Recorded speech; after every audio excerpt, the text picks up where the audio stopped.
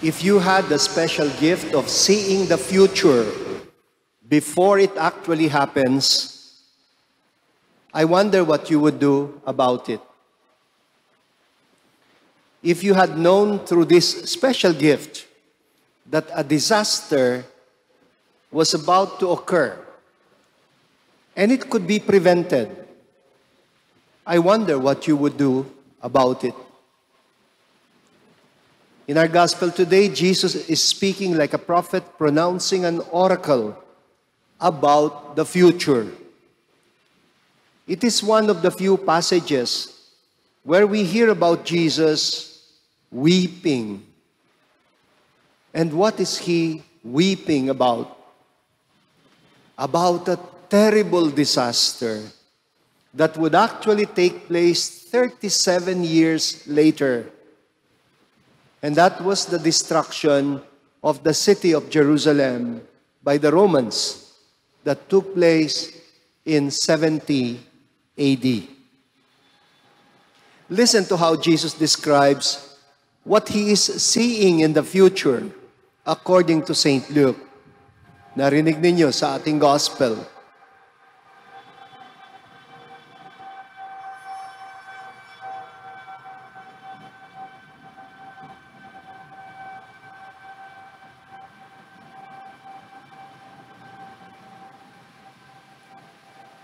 Let me quote Jesus.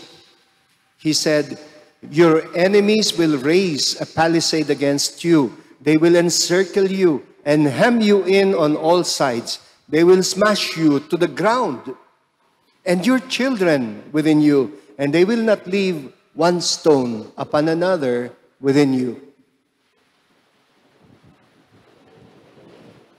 If you have been to the Holy Land, kung naka-experience na kayo ng pilgrimage in the Holy Land, and you have had the chance of visiting Jerusalem, most likely part of your trip would have included a visit to a very special church called Dominus Flevit.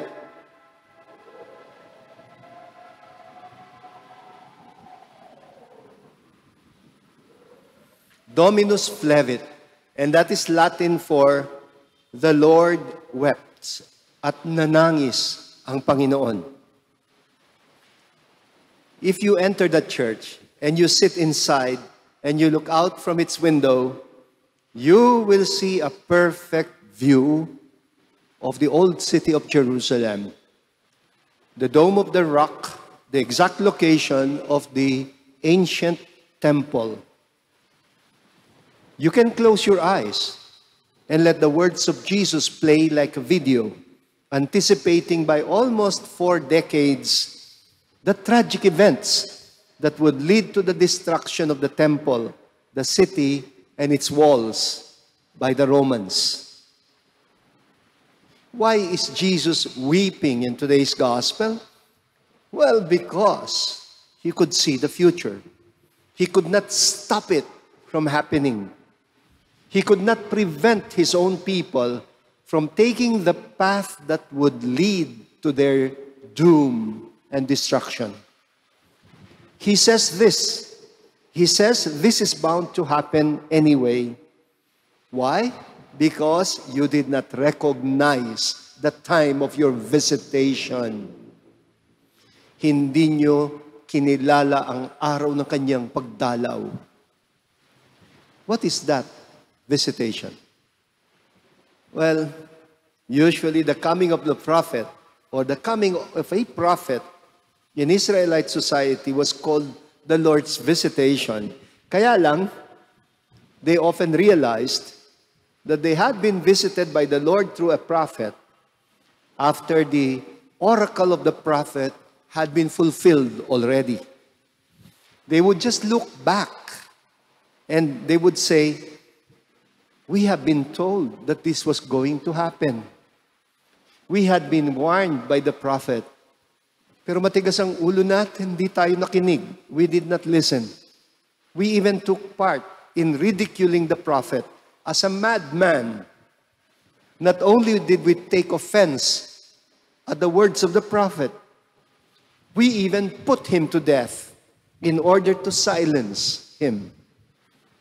And now that the destruction that he predicted and tried to prevent is upon us, we have no one to blame but ourselves.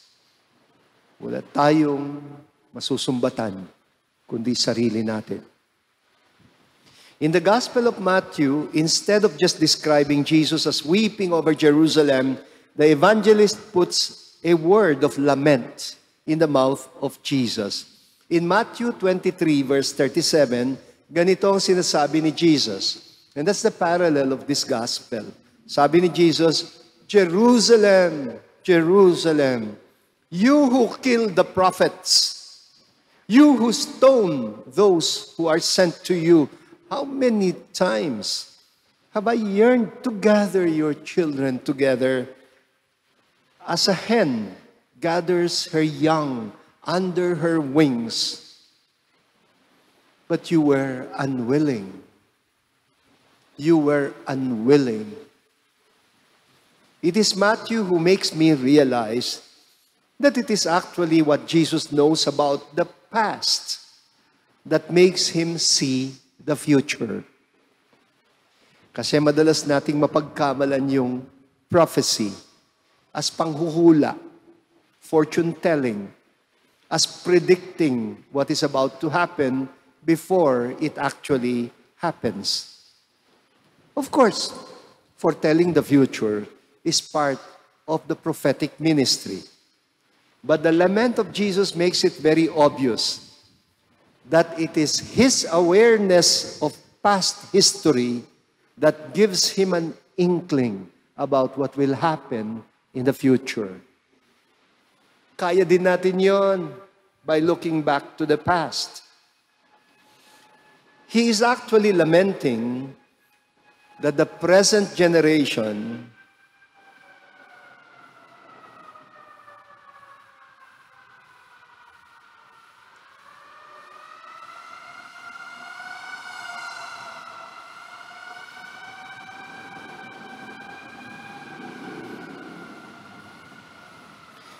he is actually lamenting that the present generation has a very short memory and is doomed to repeat history.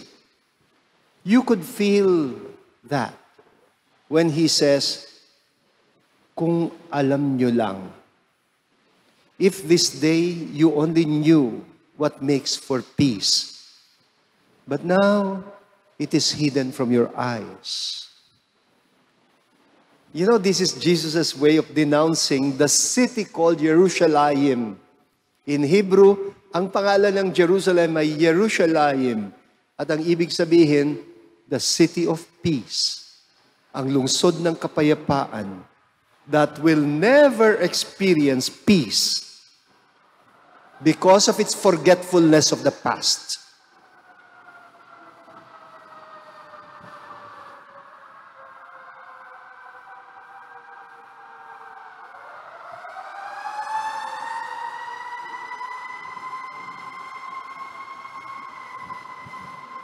Palagay ko ho, may malaking sunog. Pakisama na lang natin sa panalangin natin.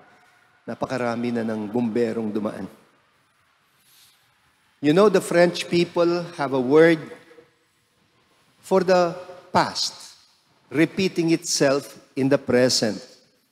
In French, they would say, déjà vu. Of course, sa Pilipinas, déjà vu. It's supposed to be pronounced as déjà vu. It's like we have been there. We have seen it all, just as it is happening. Na-experience nyo na ba yung may nangyayari tapos sabihin mong, nangyari na to ah.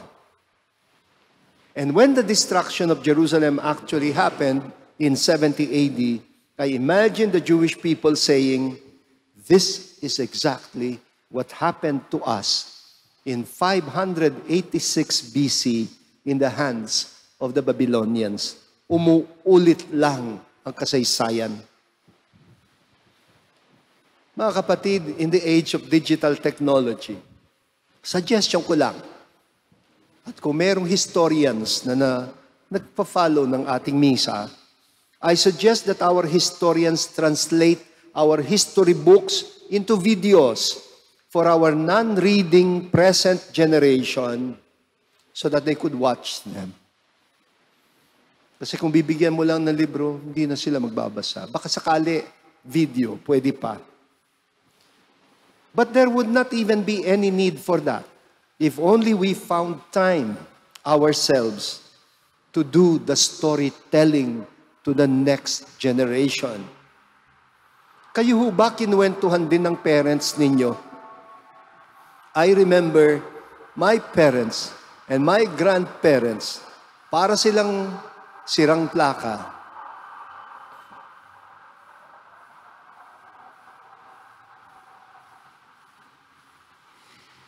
Paulit-ulit nilang kinuwento ang giyerang hapon.